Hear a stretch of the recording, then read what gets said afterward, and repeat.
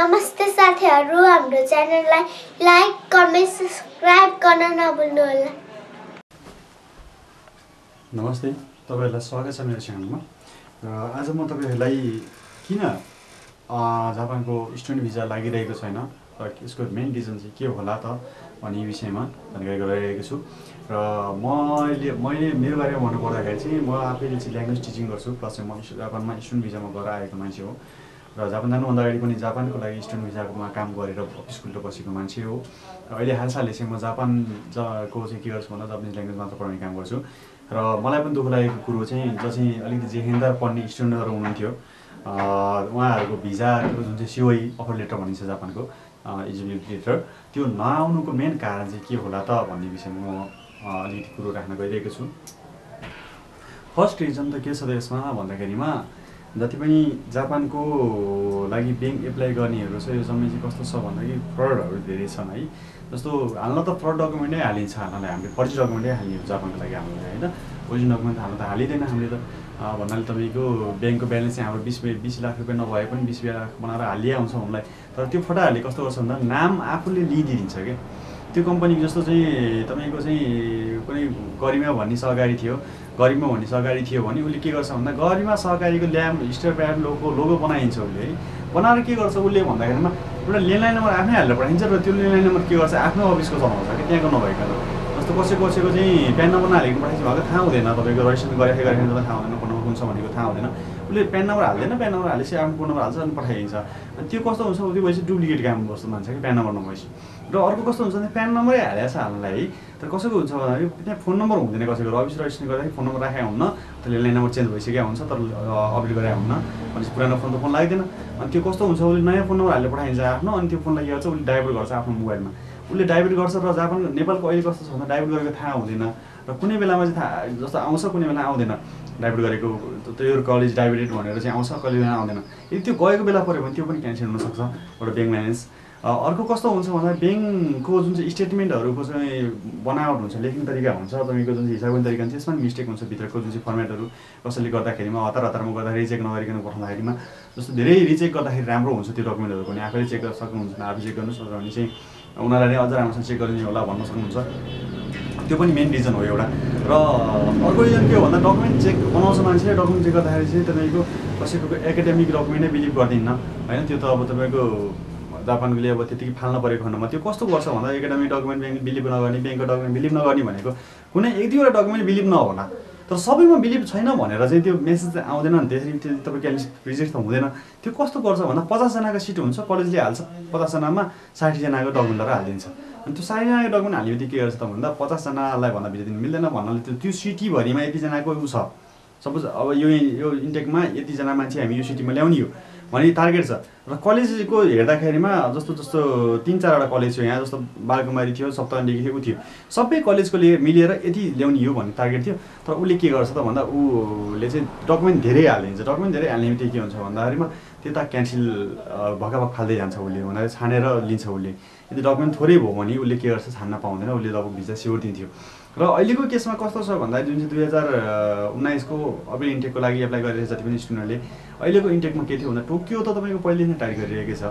तपाईँको टोकियोको लागि चाहिँ अलिकति हाई क्वालिफिकेसन हुनु पऱ्यो हाई ब्याङ्क ब्यालेन्स हुनु पऱ्यो राम्रो हुनु पऱ्यो सबै कुरो। एकाडेमिक क्वालिफिकेसन राम्रो हुनु पऱ्यो राम्रो नै छिरेको छ। र कुनै कुनै फटा नराम्राहरू पनि छिरेको छिर्नलाई नसिरे होइन कुनै डुप्लिकेट डकुमेन्टले पनि छिरेको देखेको छु मैले तिनीहरूलाई सकेसम्म चाहिँ राम्रो डकुमेन्टहरू पनि कम भएको पनि छिर्नु भएको छ उहाँहरू नि होइन। डुप्लिकेट डकुमेन्ट नि टोकियोले एक्सेप्ट गरिरहेछ जस्तो भनेर गइरहेछ मान्छेहरू। मैले त्यो पनि थाहा पाइरहेको छु अनलाइन। तर कस्तो छ भन्दाखेरिमा अरू ठाउँको चाहिँ जापानको अहिले अलिकति रुल चेन्ज गरेर नगरपालिकाको लेटरमा अलिकति चेन्ज गर्न लगायो। र चेन्ज गर्न लगाउँदाखेरि कतिजना कन्सल्टेन्सी व्यवसायहरूले चाहिँ के गर्नुभयो भन्दा अब बनाइसकेको डकुमेन्ट ट्रान्सलेसन गरिसकेको डकुमेन्ट ट्रान्सलेसन गर्नुपर्ने हुन्छ जापानिजमा। अनि त्यो ट्रान्सलेसन गरिसकेको डकुमेन्ट फेरि ट्रान्सलेसन गर्न झ्याउने कारणले कसैले चाहिँ थप नगरिकन पठाइदिनु भयो। कसैले के गर्नुभयो? आफैले तलपट्टि गर्नुभयो नगरपालिका कसैले पठाउनु भयो? स्टुडेन्टलाई बोला ल यहाँ बिग्रिएछ। ल त्यहाँ सचार आइज भन्ने भन्नु भएन। उहाँले के गर्नुभयो भन्दा तलपट्टि अलिकति स्पेस हुन्थ्यो त्यो स्पेसमा आफैले टक्क नोट भनेर हानिदिनु भयो। नोट भनेर ट्याक्स क्लियरेन्स भनेर ल अब के के हाल्न थियो हाल्नुभयो त्यो चाहिँ कन्टेन्ट्स अनि त्यसपछि अरूले के गर्नुभयो भन्दाखेरि चाहिँ त्यो जुन चाहिँ ट्या नगरपालिका डकुमेन्ट छ पहिलाकै डकुमेन्ट हाल्नुभयो? पहिलाको डकुमेन्टमा अलिकति आफूले राइटिङ चेन्ज ल यति भयो होला नि भनेर सोचेर हालेर पठाएर स्टुडेन्ट प्रिन्ट आउट गर्न लानुभयो र कतिले चाहिँ आफैले आउट गर्नुभयो होला उनलाई है आफैले पनि टाइप तलपट्टि टाइपिङ गरेर निकाल्नु भयो होला। र मेरो समस्या चाहिँ तपाईँको अहिले चाहिँ जस्तो ल्याङ्ग्वेजमा फाले भन्ने समस्या छ। अहिले चाहिँ जापानमा चाहिँ के गर्न खोजिरहेछ भन्दाखेरि सकेसम्म नाट पास भएको स्टुडेन्ट ल्याउँदाखेरि उनीहरूलाई बेस्ट हुन्छ भन्ने सोचिरहेछ। किन अहिलेसम्म जति पनि स्टुडेन्टहरू गइरहनु भएको छ म आफै जापान जाने बेलामा नि मैले भोगेको कुरो जस्तो चाहिँ म त ल्याङ्ग्वेज पढाउँथेँ पहिलेदेखि नै मलाई त सजिलै भयो। र जुन चाहिँ ल्याङ्ग्वेज पढ्नु भएको थियो मेरो पालामा कस्तो थियो भन्दा नाट पास हुनु न यस्तो हुनु पनि उस्तो हुन्थ्यो अथवा एमएससी पनि इन्टरभ्यू हुन्थेन मेरो पालामा। र कस्तो भइदियो भन्दाखेरि स्टुडेन्ट जानलाई जान्थ्यो उसको बाबामा ल्याएर डकुमेन्ट छोडिदियो अनि उस सिओए आउँथ्यो भिजा हान्ने बेला पनि बाबामै जान्थ्यो अथवा स्टुडेन्ट ल डकुमेन्ट छोडिदिन्थ्यो भिजा एमएससीमा ल छोडिदिन्थ्यो भिजा लिन बाउ जान्थ्यो अथवा आमा जान्थ्यो अनि भोलिपछि एकैचोटि उड्ने बेलामा मात्रै केटा आइपुग्थ्यो। त्यो सिचुएसन थियो मेरो पालामा है। भन्नाले त्यो उनीहरूले के हुन्थ्यो उसले ल्याङ्ग्वेज हुन्थेन जापान जान्थ्यो जापान गर्दा चाहिँ उसले ल्याङ्ग्वेज पढ्न सक्थेन काम पाएन हजुर मैले यहाँ भन्थ्यो भने ऊ व्यवहारिसी हुन्छ गरी घरबाट पैसा पठाउनु पर्ने हुन्छ। र कस्तो हुन्छ भन्दाखेरि उसले चाहिँ अब चाहिँ घरबाट पैसा आउने बित्तिकै के हुन्छ भन्दा ऊ ल्याङ्ग्वेज नभएपछि बे टाइम हुन्थ्यो टाइम भएपछि पढ्न भन्दा नि ऊ रक्सी खाएर बस्ने हुन्थ्यो। जापान पानीमा चाहिँ बियर भन्दा बियरभन्दा चाहिँ पानी महँगो छ भन्यो उसले अनि त्यसपछि बियर किनेर बियर खान थाल्थ्यो। अनि उसले झडा गर्ने अनि त्यसपछि उग्ने गर्ने यस्ता क्रियाकलापहरू धेरै आयो जापानमा। चोरी डकैती देखेर झै झडा जम्मै धेरै धेरै आयो त्यो हुनाले ल्याङ्ग्वेज चाहिँ नपढेको कारणले अलिकति गाह्रो गाह्रो नै हुँदै गयो स्टुडेन्टहरूलाई है। त्यो पछि बिचमा के गरियो भन्दाखेरिमा धेरै कलेजहरूले चाहिँ नाट अथवा जेलबिटी पास भएको स्टुडेन्ट हुनुपर्ने भन्ने भन्नुभयो। अथवा फर्म मात्र भरेको भयो भने हुनुपर्ने भन्नुभयो। फर्म मात्र भरेको भने एटलिस्ट ल्याङ्ग्वेज चाहिँ पढ्छ नि त भन्ने थिङ्किङले त्यो भन्नुभयो। त्यसपछि कसैको के भयो नाटै पास हुनै पर्ने। कलेजबाट है इमिग्रेसन भन्दा नि। पास हुनै पर्ने भन्ने थियो र नाट पास भएको डकुमेन्ट हालिन्थ्यो। र इमिग्रेसनबाट पनि के भयो? ल नाट पास भएको डकुमेन्ट ल्यायो भने त अझ ओरिजिनल भयो नि त सर्टिफिकेट भन्ने हुन्थ्यो। त्यसपछि के भयो भन्दाखेरिमा चाहिँ एमबिएससीमा पनि इन्टरभ्यू गरेको हाम्रो जुन चाहिँ एमबिएससीहरूमा इन्टरभ्यू हुन्थेन अचेल इन्टरभ्यू हुन थालिएको छ इन्टरभ्यू गरायो। यो हुँदा हुँदैन कस्तो भयो भन्दा स्टुडेन्टले राम्रोसँग ल्याङ्ग्वेज भएन अझ पनि पढ्ने। होइन? ल्याङ्ग्वेज उहाँ गयो उहाँ चाहिँ छैन ल्याङ्ग्वेज तपाईँको एमबिसीमा के सोध्थ्यो भन्दा घोकेको चारवटा उयसमा घोकेर नि त्यही आउँछ एमबिसीमा खासै त्यही भन्दैन तिनीहरूले। जस्तै तेरो नाम के हो? अथवा सेलिब्रेसन दिए यो चार पाँचवटा पढ्दै थियो त्यही हो। तर उहाँ गएर जुन चाहिँ जुन चाहिँ जापानमा गएर चाहिँ बस्नु रहन सहन गर्न तथा ल्याङ्ग्वेज पढ्नको लागि गाह्रो भइदियो। गाह्रो भइदिएपछि के हुन्छ भन्दाखेरि त्यो ठाउँमा त्यो मान्छेलाई टाइम लाग्ने भयो अझ धेरै। हो त्यो हुनाको कारणले ल्याङ्ग्वेजको लागि चाहिँ पास भएर जति पनि नाट पास भएर एप्लाई गर्ने मान्छेहरूलाई चाहिँ भिजा दियो। र नाट पास हुनेलाई पनि भिजा नदिएको पनि सिचुएसन छ। जसको चाहिँ जस्तो नाट पास हुनुभयो तर इमिग्रेसन डकुमेन्ट अगाडि नै गइसक्यो। इमिग्रेसन अगाडि नै डकुमेन्ट गइसक्यो डकुमेन्ट फेरि बेला बेलामा त्यो दिइरहन मिल्दैन अब इमिग्रेसन एकचोटि तपाईँ लडिदिनुहुन्छ र तपाईँले त्यो डकुमेन्ट दिइसकेपछि फिक्स भयो इमिग्रेसन त्यसपछि अरू छुटफुट भनेर लडिदिन पाइँदैन एउटा पिरियड हुन्छ। पिरियडमा दिने हो अथवा चाहिँ उसैले माग्छ माग्यो भने दिने हो नत्र भने आफैले ल यो पास पाखा भन्दै लिएर गर्दैन पाइँदैन। त्यो पछि यहाँ एप्लाई गरे बेलामा फर्म भर्नुभयो अनि इमिग्रेसन डकुमेन्ट गरेर इमिग्रेसन नम्बर आइसक्यो तपाईँको इमिग्रेसन नम्बर नै आइसक्यो तपाईँ चलानै भइसक्नु भयो। त्यसपछि के भयो भन्दाखेरि तपाईँलाई चाहिँ पास भएको सर्टिफिकेट पास हुनु पऱ्यो नाट नाटको सर्टिफिकेट पास भएको कन्सल्टेन्सी छ त्यो कन्सल्टेन्सी त्यो डकुमेन्ट पठाउनु मिल्दैन। त्यो भन्दा पास पास भयो भने भिजा आएन। कसै कसैको चाहिँ पासै हुनुभयो डकुमेन्ट पठाउनु भयो तै पनि भिजा आएन। उहाँको चाहिँ कस्तो भन्दाखेरि त्यो बिलिभ गरेन अरू कुराहरूमा। स्पोन्सरहरूमा ब्याङ्कहरूमा ल्याङ्ग्वेजलाई बिलिभ गर्यो अरूलाई बिलिभ गरेन है। र एकाडेमिक डकुमेन्ट बिलिभ नगर्नु भनेर धेरैजनाको रिजन आउँछ त्यसमा चाहिँ कस्तो हुन्छ भन्दा एकाडेमिकै बिलिभ किन गर्दैन भन्दाखेरिमा त्यसमा काहीँ न काहीँ मिस्टेक छ तपाईँले हेर्नुभयो होला। एकाडेमिकमा काहीँ न काहीँ मिस्टेक हुन्छ। जस्तो कसैको एचएससिबी नम्बर चाहिँ एउटै हुँदैन जस्तो एसएससी र उसको नम्बर नमिल्ने हुन्छ यो रजिस्ट्रेसन नम्बरहरू है। अथवा कसैको चाहिँ के हुन्छ कलेजमा नाम लेखेको छ सिंहबहादुर गुरुङ अब चाहिँ ट्रान्सक्रिप्टमा के नाम आउँछ सिंह गुरुङ। त्यो पनि बिलिभ हुने कुरो भएन। कसैको चाहिँ पास भयो एउटा इयरमा होइन दुई हजार सोह्र उन्नाइसमा पास भइदिएछ दुई हजार सोह्र नौ महिनामा पास भएको भने उसको चाहिँ ट्रान्सक्रिप्ट आउँछ दुई हजार पन्ध्र कतिको त्यो मिस्टेकहरू है। धेरै कुराहरू जस्तो टियुको चाहिँ लोगोदेखि लिएर चाहिँ कलेजको लोगोदेखि लिएर धेरै कुरा एकाडेमिक डकुमेन्टहरू भन्नाले त्यही हो। जस्तो एड्रेस भेरिफिकेसनहरू हुन्छ एड्रेस चाहिँ जस्तो हाम्रै जस्तो म अहिले चितवनमा छु चितवनको चाहिँ बालकुमारी कलेज छ जुन चाहिँ। बालकुमारी कलेजलाई चाहिँ बालकुमारी कलेज पनि भन्छ बालकुमारी क्याम्पस पनि भन्छ। अथवा चाहिँ बालकुमारी कलेजलाई चाहिँ एड्रेस लेख्ने बेलामा नानगढ पनि लेखिन्छ अथवा नानघट पनि लेखिन्छ घाट पनि लेखिन्छ। भनेको चाहिँ दुई थरी हुन्छ यसको। ट्रान्सक्रिप्ट र सर्टिफिकेटमा चाहिँ जुन चाहिँ कलेजको सर्टिफिकेटमा चाहिँ दुई थरी आउँछ। त्यो भएर त्यो त्यो मिस्टेकहरूलाई यति फुलफिल गरियो भने हो त्यो फुलफिल गर्न सक्नु भने धेरै राम्रो भयो। र कस्तो अर्को के हुन्छ ट्रान्सक्रिप्ट बिलिभ हुँदैन एकाडेमिकमा बिलिभ गरिएन भन्नाले तपाईँको फोटो हुन्छ नि जुन चाहिँ होइन?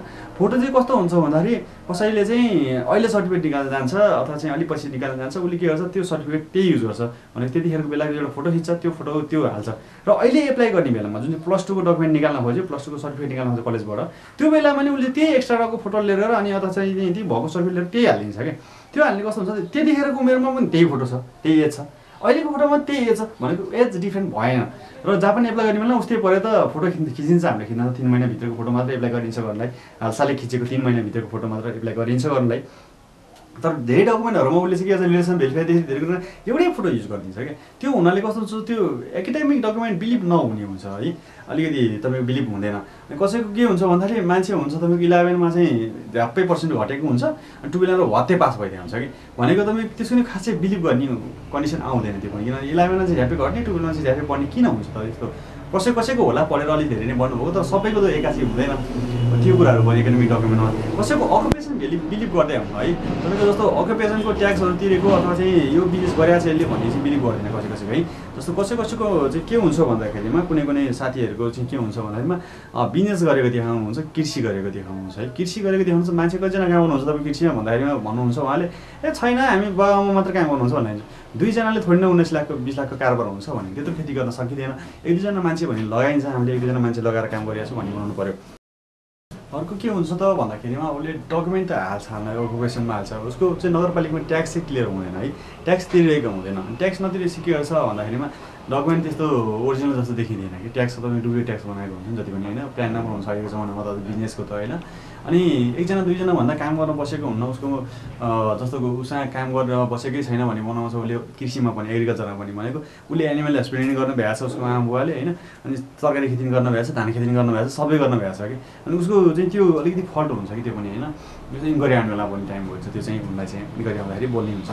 त्यस्तै अर्को के हुन्छ भन्दाखेरिमा मान्छे हेर्दै बिजनेस नगरी नगरी जस्तो खाएको हुन्छ तर उसको बिजनेसम्यान देखाइदिएको हुन्छ कि भनेको बिजनेसम्यानको चाहिँ अलिकति गेटअप के बनाउनु पऱ्यो रिलेसनमा रिलेसनसिप सर्टिफाईमा भन्दाखेरिमा अलिकति बिजनेसम्यान हो त टिपटप होस् न होइन तपाईँको ढाका टोपी लगायो भने राम्रो लाग्यो सट्ट राम्रो बिजनेसम्यान टक्क कोट सोट लगाओस् टक्क फोटो खिच्नु पासपोर्ट साइज छिद्दाएर पनि टक्क राम्रो आओस् है। त्यस्तो अलिक राम्रो हुनु पऱ्यो सबै कुराहरू र कसै कसै कस्तो हुन्छ भने प्यारेन्ट्स बिलिभ नगर्ने नि भेटिन्छन् भेट्न। है बाबु जस्तो छोरा चाहिँ हुन्छ बिस वर्ष बाबामा हुन्छ साठी वर्ष।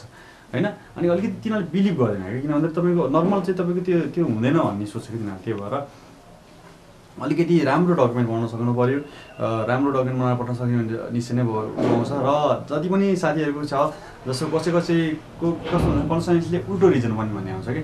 जस्तो ब्याङ्क त्यहाँबाट बनाउनु भएको छ त्यही ब्याङ्कबाट बनाउनु भएको छ भने चाहिँ त्यही सरकारी के बनाइदिएछ भने चाहिँ कन्ट्याक्टबाट बनाइदिएछ भने चाहिँ त्यसले के गर्छ भन्दाखेरि ब्याङ्कमा चाहिँ तपाईँको ब्याङ्कको प्रब्लम आयो भने पनि उसले के गर्छ भन्दाखेरिमा साथीले के अरे कन्सल्टेन्सीले बनाइदिएको ब्याङ्क हो अब कन्सल्टेन्सी गर्नुपर्छ भनेर स्टुडेन्टले सोध्छ थिङ्क गर्छ भनेर। उसले ब्याङ्कमा होइन तपाईँको एकाडेमिकमा चाहिँ पढ्छ है भनेर लागिन्छ कहिले है।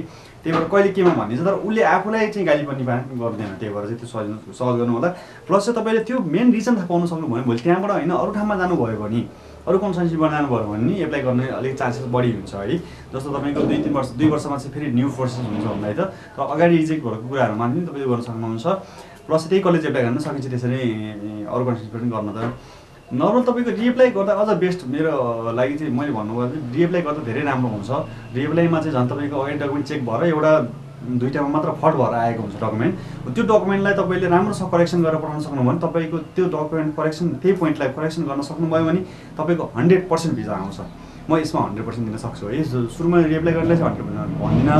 तर जुन चाहिँ मिस्टेक आएको छ त्यो मिस्टेकलाई करेक्सन गरेर पठाउन सक्नुहुन्छ त्यो हन्ड्रेड पर्सेन्ट भिजा आउँछ त्यसको चाहिँ मैले ग्यारेन्टी दिन्छु है। लेखेर दिन्छु त्यो चाहिँ हन्ड्रेड पर्सेन्ट आउँछ भनेर। त्यो कुरा म गरेर दिन सक्नुहुन्छ। उसले दिएको कुरा चाहिँ रिजन दिएको छ। जस्तो तपाईँको चाहिँ ब्याङ्क तपाईँको चाहिँ ब्याङ्क बिलिभ गरेन भने चाहिँ मिलेन। तर अरू कुरा हुन्छ नि जस्तो तपाईँको चाहिँ ल्याङ्ग्वेज भएन अरे भने है ल्याङ्ग्वेज भएन अरे भने तपाईँले नाट पास गरेर डकुमेन्ट हाल्नु पऱ्यो तपाईँको हन्ड्रेड पर्सेन्ट भिजा आउँछ। अथवा चाहिँ तपाईँको के भयो चाहिँ भन्दाखेरि ब्याङ्कको चाहिँ हिसाब जोड्नेमा मिस्टेक भयो भन्दा त्यसलाई सिस्टम मिस्टेक भन्ने हाल्न मिल्छ। त्यो त्यो कुरा पनि डकुमेन्ट हाल्न मिल्छ। त्यस्तै अर्को के भयो नगरपालिकाको डकुमेन्टमा चाहिँ के छ लेखाइमा प्रिन्ट मिस्टेक छ त्यसलाई फेरि सच्याएर हाल्न मिल्यो। अथवा चाहिँ तपाईँको एकाडेमिक डकुमेन्टको भेरिफिकेसनहरू हाल्न बिर्सियो त्यो हाल्न सकियो। कहीँ केही कमजोरीहरू छ भने त्यसलाई फुलफिल गर्नु भने त्यसको हन्ड्रेड पर्सेन्ट एप्लाई गर्दाखेरि भिजा आउँछ झन्। त्यसैले मिहिनेत गर्नुहोस् मिहिनेतको फल अवश्य मिल्छ। र भिजा नआउने जति पनि सिओई नआउने साथीहरू हुनुहुन्छ उहाँहरूले के गर्नुहोस् भन्दाखेरिमा त्योभन्दा बेटर कुरा केही नेपालमै हुँदैछ अथवा चाहिँ यहीँ केही हुँदैछ अथवा अरू कुनै जापानै जानुपर्छ भने के छ अमेरिका जान पनि सक्नुहुन्छ अथवा अमेरिका भिजा लाग्न सक्छ। त्यसै कारणले अहिले झन् राम्रो भयो भन्ने सोध्नुहुन्छ होला। एकदमै नर्भस हुनुपर्ने कुरो केही छैन यसैमा यही जापानै भनेको जिन्दगी होइन उनलाई होइन। त्यस कारणले चाहिँ योभन्दा केही बेटर हुँदैछ र चाहिँ म गइनँ जापान भन्ने सोध्नु पऱ्यो होइन? किन भन्दाखेरि म पनि त जापान गएको मान्छे हो किनभने जापानभन्दा बेटर मलाई यहाँ थियो त म आएको छु भनेर मैले सोच गरिरहेको छु। किन म गइसकेको मान्छे फर्केर आएछु है?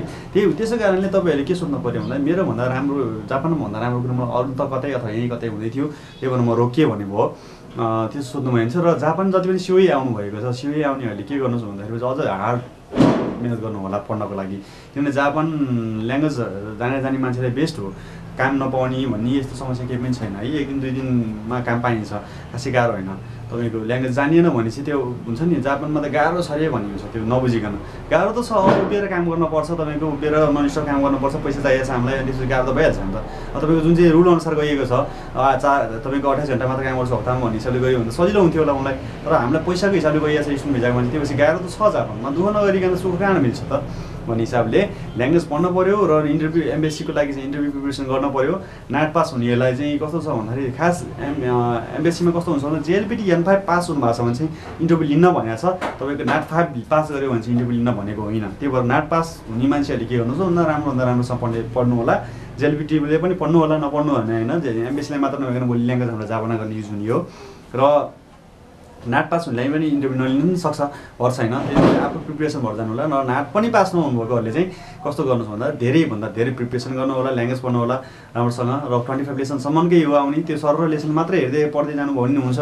अथवा चाहिँ मैले मेरो च्यानलमा चाहिँ तपाईँहरूको लागि भनेर एमएससी प्रिपेरेसनको भिडियोहरू नै हालेको छु।